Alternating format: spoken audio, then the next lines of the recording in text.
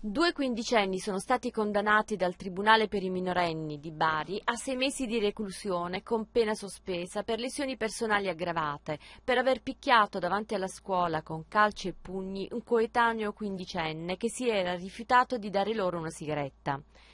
È uno dei due casi di adolescenti violenti di cui si è occupato il Tribunale, che dovrà decidere se rinviare a giudizio altri tre quindicenni baresi, accusati di aver aggredito un ragazzo di venti, intervenuto in difesa di un anziano che essi stessi, insieme con altri quattro non identificati, stavano insultando.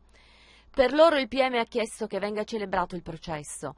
La prima vicenda, giunta oggi a sentenza, risale al 30 settembre 2015. I due imputati, entrambi incensurati e di buona famiglia, avrebbero reagito al rifiuto di una sigaretta colpendo uno studente coetaneo con calci e pugni e causandogli escoriazioni al volto e contusioni al naso, giudicate guaribili in sette giorni. Per loro la Procura aveva chiesto il perdono giudiziale. Il secondo episodio risale al 26 giugno 2016.